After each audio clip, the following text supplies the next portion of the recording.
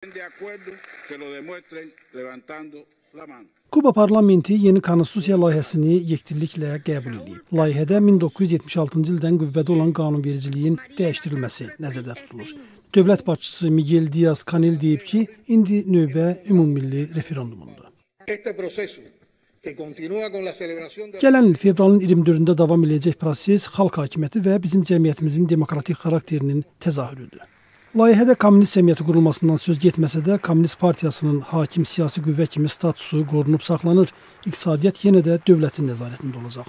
Amma özəl biznesin hüquqları genişləndirilir və xarici investorlar üçün yeni imkanlar açılır. Müşahidəçilərin fikrincə, həmçinin yeni qanun layihəsi eyni cinsdən olan şəxslərin evlənməsini leqallaşdırır. Hakimiyyət ailə məcəlləsinin də referenduma çıxarılacağını vəd edib. Layihəyə görə həmçinin ölkənin ali rəhbərlərinin hakimiyyət müddəti və yaşına məhdudiyyət qoyulacaq. Cəmiyyətdə o qədər dəstəyi olmayan müxalifət isə sosial şəbəkələrdə referendum əleyhinə kampaniya başlayıb.